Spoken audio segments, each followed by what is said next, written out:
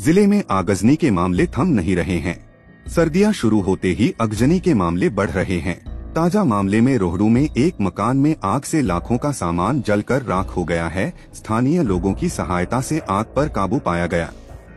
जानकारी के अनुसार रोहड़ू के क्षधार पंचायत के खेड़ा गाँव में एक मकान में भयंकर आग लग गई। मकान चमन लाल का था, इसलिए रात लगभग एक बजे से धुआँ निकालने लगा। तभी देखते ही देखते दो मंजिला मकान आग की चपेट में आ गया। गाँव वालों ने आग बुझाने का पूरा प्रयास किया। अग्निशमन विभाग को भी सूचित किया, लेकिन तेज हवा होने के कारण आग तेज़ी से फैलती गई और चमन लाल का दो मंजिला मकान जलकर राख हो गया। गनीमत रही की कोई जानी नुकसान नहीं हुआ है। पुलिस मामले की जाँच कर रही है।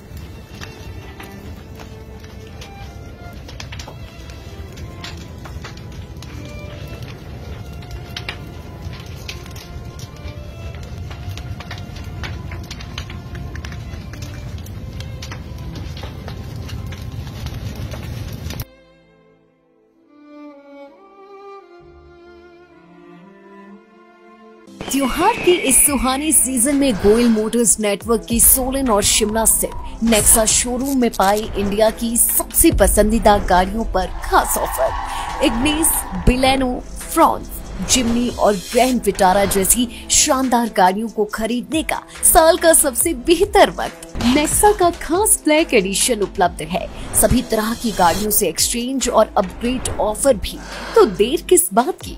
आज ही सोलन या शिमला में गोयल मोटर्स के नेक्सा शोरूम में पधारे और पाए कार खरीदारी का एक कभी ना भूलने वाला सुखद अनुभव। त्योहार के इस सुहाने सीज़न में गोयल मोटर्स नेटवर्क की सोलन और शिमला स्थित नेक्सा शोरूम में पाए इंडिया की सबसे पसंदीदा गाड़ियों पर खास offer Ignis Baleno Fronx Jimny और ग्रैंड विटारा जैसी शानदार गाड़ियों को खरीदने का साल का सबसे बेहतर वक्त नेक्सा का खास ब्लैक एडिशन उपलब्ध है।